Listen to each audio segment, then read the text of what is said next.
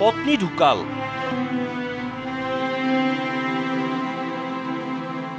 কান্দি কান্দি অস্থিৰ স্বামী। গাঁৱৰ ৰাইজে পাতিলে শ্ৰাদ্ধ ভোজ পিছে ৰ'ব সেয়া ডেৰ বছৰ আগৰ কাহিনী। এতিয়া শুনক আজিৰ কাহিনী। কাহিনীৰ নায়কো এইজন ভিলেইনো এইজন নাম এখেতৰ প্ৰণৱ চৰকাৰ। নগৰবেৰাৰ হেকৰা হাবিলা গাঁৱত ঘৰ এখেতৰ। ডেৰ বছৰৰ পূৰ্বেই পত্নীক তেজপুৰত চিকিৎসা কৰাবলৈ নিছিল এই প্ৰণৱ বাবুৱে।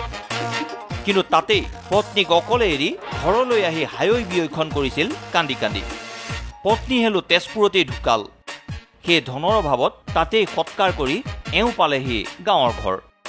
উপায় নাই। প্ৰণৱক সান্তনা দি গাঁৱৰ ৰাইজে পাতিলে শ্ৰাদ্ধ ভোজ তাৰ পিছতেই প্ৰণৱৰ দুই জীয়ৰীৰ ভৱিষ্যতৰ কথা চিন্তা কৰি প্ৰণৱেও মন মেলিলে আৰু এগৰাকীৰ স্বামী হ'বলৈ। পিছে ডেৰ বছৰ পিছত ঘটনাই মাৰিলে ইউ টাৰ্ণ হঠাৎ গাঁৱৰ ঘৰত আৱিৰ্ভাৱ প্ৰণৱৰ এইগৰাকী পূৰ্বৰ পত্নীৰ। কাৰণ ডেৰ বছৰ পূৰ্বে পত্নী ঢুকোৱাৰ কাহিনী এক নাটক আছিল। মানসিকভাৱে অসুস্থ পত্নীক তেজপুৰত এৰি পুনৰ আন এগৰাকীৰ স্বামী হৈছিল এইজন প্ৰণৱ বাবু। তাতে থাকি কিনে কৈছে যে ফোন কৰি কৈছে যে মানুহজনটো মৃত্যু হৈছে তাত আমি কি কৰিম? তে ঘৰৰ পৰা কৈছে যে ডেড বডিটো লৈ আহক ডেড বডিটো আনিলে আমি কিবা হেৰি কৰিম। প্ৰণৱ শৰ্মাই কৈছে কয় মোৰ পকেটত পইচা নাই। তে পইচা নাই যদি পইচা আমি যোগাৰ কৰি দিম তুমি ডেড বডিটো লৈ আহা। তথাপিতো সি ৰাতিপুৱাই আহি ওলাইছে আহি কিনে কান্দা কাটি কৰি আছে যে মই আনিব নোৱাৰিলোঁ তাতে মই সৎকৰ্মটো কৰি থৈ আহিলোঁ।